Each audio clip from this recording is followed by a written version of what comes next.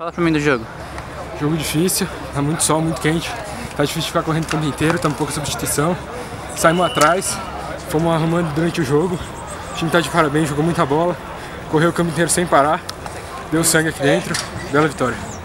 Projeção campeonato? Tamo bem, estamos crescendo, com o tempo. E vamos com tudo, vamos terminar entre os dois primeiros, ir direto para as quartas. Não vamos parar não, estamos encaixando e vai ser difícil ganhar da gente. Recado pra alguém? Não, sem recado nenhum. Obrigado.